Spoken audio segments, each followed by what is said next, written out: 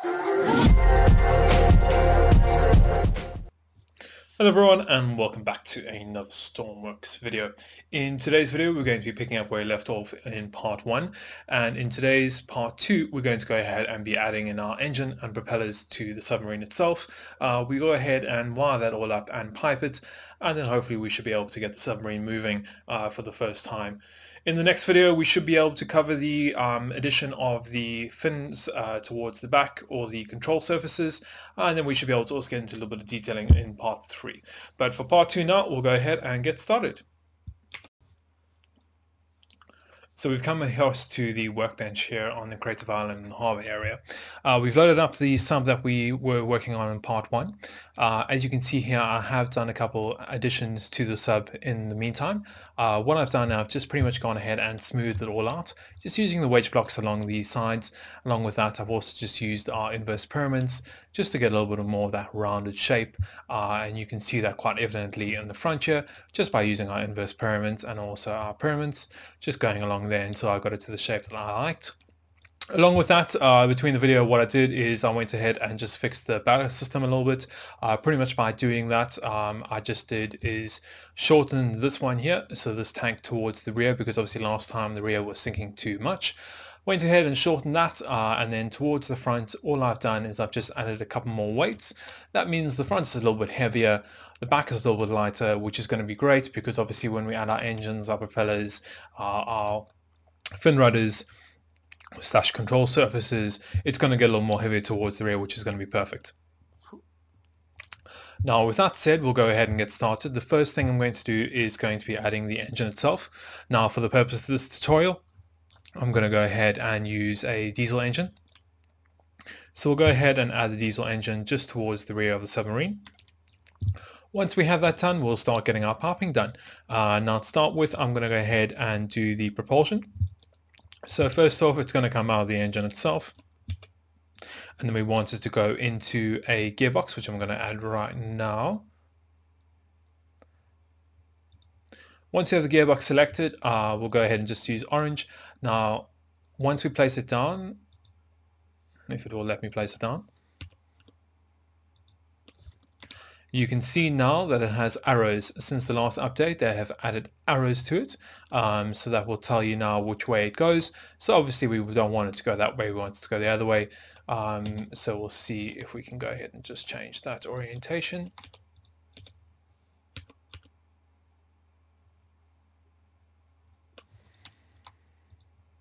It's being very mean with me and not wanting me to place this down. There we Got a place down. And then we can go ahead and just delete these extra blocks, delete that. And then what we're going to do is just use a enclosed straight pipe here. Make sure we go ahead and just select our orange again for the pipes, just for the propulsion. And then we'll start running this all towards the rear. I'm just going to bring it up by one. And then bring it out here. Fantastic. Let's quickly go ahead and just add all these pipes quickly in just to get that done. We're going to go ahead and start just with one propeller to start with and then we'll see how that works. If we need to add more to get a little bit more power out of it then we can obviously add as we go on uh, but for the tutorial is just to get it working and to get the whole theory done. So we got that. We'll add our propeller onto the rear here double check that we have everything piped up perfect now you're probably thinking well Cameron you haven't obviously added a um, clutch, I'm not going to for this video. We can go ahead and add that in the next video or in a future video. Um, at the moment, just to get this engine working. So once we have that done, uh, we can go ahead and actually now start doing our front piping, which is going to be the fuel, the exhaust, the air. Um, so we'll go ahead and do that and along with the coolant. So first off, we're going to do is the air. Go ahead, I'm going to select white for the air. Air is the top one just over here. What we're going to do is we're going to bring this directly up and then just split it out into three. So we grab some fluid ports. Now we might, obviously we'll have to see when we submerge if we need to add a filter onto here to filter out the water because what it might do is it might suck the water in. Um, I'm not 100% sure if it will do that or not once again, everything is about learning and figuring out for yourself. Uh, and that's the whole fun and joy about everything. So we'll go ahead, just add this here. Obviously you can go and actually just uh, extend and make as many as many as you want. Um, so you could in theory add another one like that and just keep on using T pieces just around there and then you can see at the top now we have two you can add more uh, as you go on if you want to but for the purpose story I think four is more than enough uh, so next up what we need to do is we need to actually add our fuel fuel I'm just going to go select red uh, so you know where the blocks where the pipes are just for uh, purpose sake I'm just going to go ahead and use two of our large fluid tanks large fluid tanks I think I'm just going to put them just towards the rear which hopefully should fit in there perfectly. Yep, they have. Great. So once that's in there, we obviously just need to run the piping across to the engine itself. So with that done, we can just go ahead and delete a couple blocks. And then I'm just going to use some enclosed pipes just along here. First off, starting with an angled one. Great. And then just some straight pipes. just going there and then we can take that and bring it towards the engine itself. Go ahead, just grab our red color again and then start bringing our pipe. You can obviously drag this down and bring it all the way to here if you want to. It's not wanting me to do it. There we go. And then what we're going to have to do is we're going to have to bring it either side now you could split it uh, evenly if you wanted to make it look a little better, um, but we don't need to. We just need to bring it to there. So what we can do is just run it across the engine, going across down and then up into there. So we can just do that. Disable, X-plane. Now obviously you could, as I said, you could wire this however you want to wire it. Um, you could wire it underneath across, down, up, whatever you whatever you fancy. Um, but for the Pistorius, I'm just going to be doing it right here. Once we have that, we can just go ahead and add our final pipe pieces.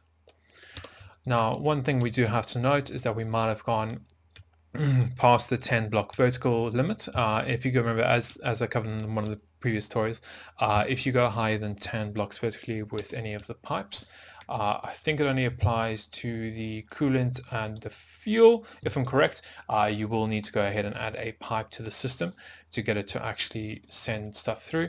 Um, so what we'll have to do here is just, just to be sure, we'll go ahead and just add a pipe down, I mean, sorry, a pump down, and then double check, obviously, that we got the orientation right. So the art is on this end, which is perfect. So it's going to suck in from the fuel tanks and then send it down into our engine itself. Great, so once we have that done, uh, we can now start doing our coolant system. Now for the coolant system itself, um, I'm going to do something a little bit probably out of the norm, out of the normal. Um, I could be wrong, people, maybe other people have done it, um, but I haven't seen it yet. Pretty much what I'm going to be doing is to keep the engine cool, I'm going to be using uh, the heat sinks. And those heat sinks themselves, I'm actually going to put underneath the submarine. Um, so what we will do is we'll just go ahead, enable the X-plane again, and delete a couple of these blocks. That should be enough.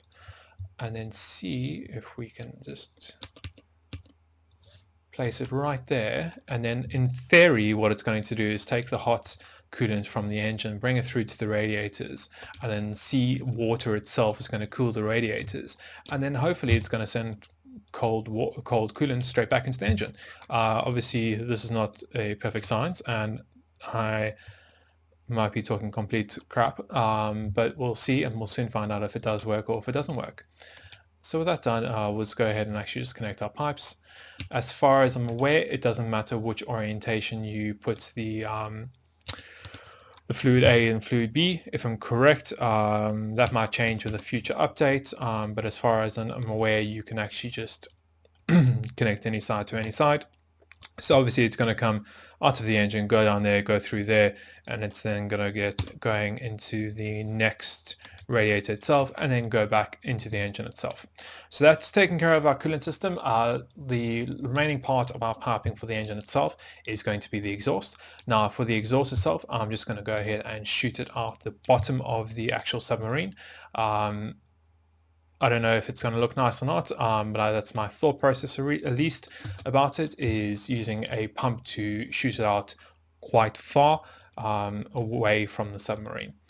So to do that, what we're going to do is we're just going to actually just make a little mold or encasement for the actual pipe itself uh, because we don't want it sticking out from our submarine. We want it kind of to be hidden in our submarine and to do that and obviously to have it all nice and sealed, we'll just go ahead and have to actually just add a couple more blocks here. So go ahead, delete that and then we're going to put our actual piece inside there. Going to top it off with just a enclosed straight pipe as always just to seal, seal the compartment off. And then you can see now we've got one on either side which is great because we have two for the system. Go ahead we'll just use black as always for our exhaust and tutorials. Connect that all up. Bring it down there. And then we can just start now bringing this across and connecting it up as I said earlier I'm just going to add a pump to it uh, we were just adding the pump on just to obviously make sure that it's going to blow it straight down and not have any extra uh, like a poor poor volume coming through. Uh, so in order to that, just go ahead and create some extra space and we can go ahead and just actually add our pumps on themselves. So once we have that done, just double check. Obviously you got the orientation right. We want the out to be here, which is obviously the wrong way now. So we need to just go ahead and delete that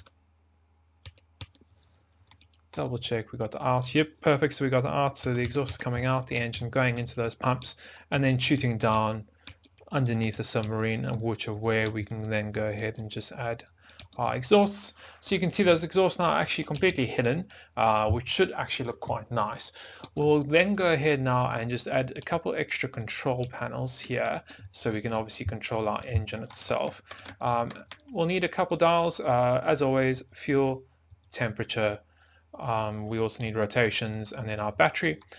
We're going to need a couple buttons. Uh, we'll need first of all a toggle button for our exhaust pumps, another toggle button for our fluid pump. We'll need a push button for our engine self. And then lastly we're obviously going to need a throttle lever. And that will control the engines and how it works. And then lastly to control the gearbox I'm just going to put down a simple toggle button. Now with that all done, what we're going to go ahead and just name all these up quickly. If you're a little confused on what I'm doing here, um, I have covered this in a tutorial on how to build a full engine uh, in advanced mode. So do go ahead and check that out. Um, I'll hopefully link it in the top right, hopefully, uh, and that will pretty much tell you everything that you need to know about um, building advanced engines here in advanced mode. So once we got that, uh, last thing we need to go and name for the dials will be the battery as I said, toggle button for the fuel pump, another toggle button for the exhaust pump, starter button, which is a push button, throttle lever, and then lastly I said gearbox. So that all named, we'll go ahead now and we'll just make sure that we have everything all placed right. Um, and then one thing that we do need to do is just go ahead and select our gearbox. I'm going to set it to 1 to 3 to start with and then reverse for our second gear. So by default it'll be in a normal range and then second gear will be obviously be reverse. So with that done, we'll go ahead and just go ahead and quickly just connect all our power up and obviously all our data up. You can see here I still had my X-Plane enabled, so I'm just going to go ahead and disable that and then delete these extra blocks that I don't need. Once we have that done, uh, we can just go ahead and start connecting everything up. So with electric, I like to start with that, get everything all done and connected, make sure we have obviously our fuel pumps, the engine itself, the gearbox, perfect. And if you always want to do a double check to see you have everything connected with electric, and if you only have one battery, you can just go ahead and hold it down, and then you can see here that it's connected to everything. Perfect. That's done. We can go ahead and connect our data. Um, first off, battery obviously goes to battery. With rotations, connect it off to the rotations, the engine, temperature, temperature, fuel. Now, we obviously have two fuel tanks. So what we need to do is because we have two outputs and only one input on this tile, we need to go ahead and actually just add an add an add component um, and get that connected quickly. So we send both the number outputs of the fuel tanks to the add, so it adds it together, and then it's going to send it to our fuel dial. That done, uh, we're going to go ahead, fuel pump, we're going to go ahead and connect that, so it turns it on. Next off is going to be the exhaust pumps, turns that on, great. Starter motor, which is going to be to start the engine itself throttle to control the throttle of the engine. As I said, there's no gearbox at the moment, so it will send power straight through. And then lastly, we're going to go ahead and just put our gearbox switch there. So with that all connected, um, we'll go ahead and spawn this in and see if we can get the engine running and see if we can actually start going forward for the first time in the submarine itself. So one thing that I do need to add, and please remind me in the comments everyone to do it in the next video, is I need to add ladders to the side of the submarine because as you can see here it's quite difficult uh, to constantly jump and actually manage to get onto the submarine itself. Now you could just go here and hope for the best. it's quite irritating to get on, on it. I will eventually get it.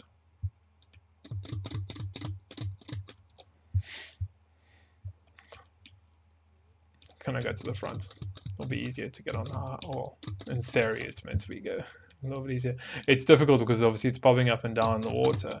Um, so if you don't time it right, it won't work. Okay, so once we've done that, we'll go ahead and open our hatch. I'm going to go ahead and close the hatch also because to show you how the um, ballast system is working at the moment. So we'll go ahead, turn our fuel pumps on. Great turn our exhaust pumps on, great. Give a little throttle to the engine, start it up. Yeah, great, great. Rotations great, battery good. And then we'll go ahead and we'll just double check to see if we're actually moving. You can see here that the exhaust is coming out, which is perfect. And we slowly moving forward, which is fine. Obviously, we're not giving the full throttle, so that's why we're not moving forward just yet. But everything seems to be working. Obviously go ahead and hold this over to make sure it's working, diagnosing the engine. We're going to go ahead and give it a full throttle, see if we can get it to go a little bit faster. Now you can see that's quite slow. I would expect that to be turning more. Um, so we'll leave that for the next video but we can go ahead. You can see the engine's working, which is great. That was the purpose of the story, to get the engine working, get the propeller on. Uh, we'll go ahead and diagnose that propeller and see maybe it's probably the gearbox. Um, we'll have to double check the settings on that.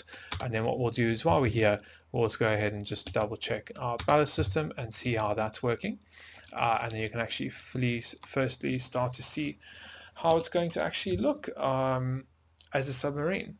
You can see the exhaust fumes going straight down the bottom, which is great. Hiding the exhaust fumes, so you won't be able to see it. Uh, and then we should slowly start to be diving.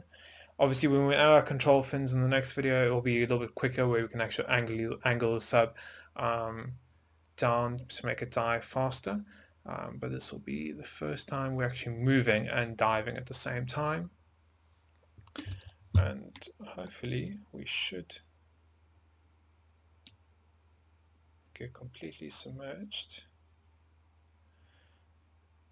And as you can see there, the engines have gone and cut off. That's because we've taken the air away from the engine.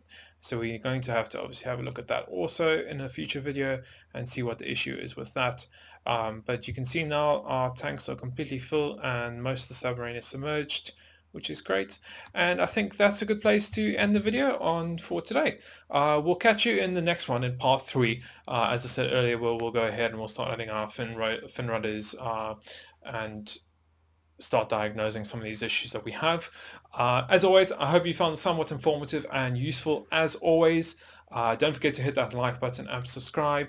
Uh, just a quick update while I'm here is a lot. I've gotten a lot of comments from you guys saying you want to see a Discord server uh, from myself. So I'm in the process of setting that up and getting it all working uh, along with the roles and so on and so forth for different people. So if you're a sub, you'll have a certain role and so on and so forth. I'm not going to get into that in this video. I'm hoping to have it ready for tomorrow. Uh, so in tomorrow's video, I'll let you know about that. So look out for that. And then we'll go ahead and see you in the next one.